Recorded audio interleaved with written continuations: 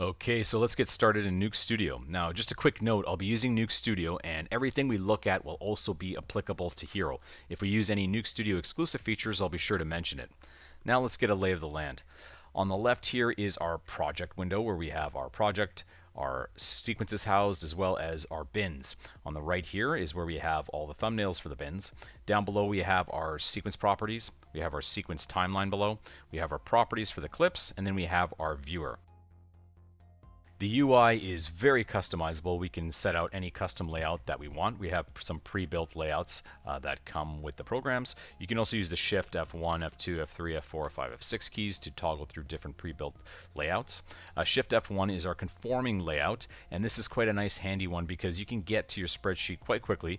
Now you can of course make your spreadsheet in any view and save that as a custom workspace, but having access to it just by quickly toggling over to it is nice. The spreadsheet is a very powerful portion of Hiero and Nuke Studio. From here, we can be selecting multiple clips, making mass changes, adding effects. Uh, if we wanted to go ahead and change uh, properties, we can select uh, a bunch of clips and then make those changes directly from here. It also has a nice linked view, so if we select something in the timeline, uh, it'll select it in the spreadsheet as well. And this is how we're going to import media, match media if you're starting fresh with an EDL, an XML, or an AAF. So this is uh, definitely something you want to spend some time with as we can also be filtering and flagging shots of particular types all directly from within the spreadsheet.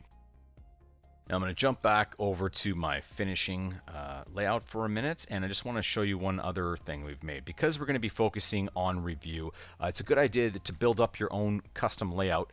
For instance, I have one called review and you'll see that it lays it out and it's very viewer centric.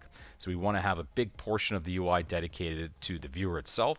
Uh, we still have access to our timeline below as we want to be working with that. And you also have access to your project, node graph, curve editor, and dope sheet. So this is something that you can set up and it will travel across all the applications.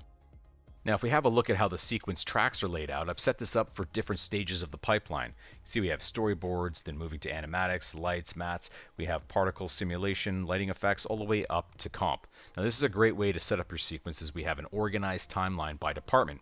This becomes especially useful for the review session if you want to isolate a stage of the production.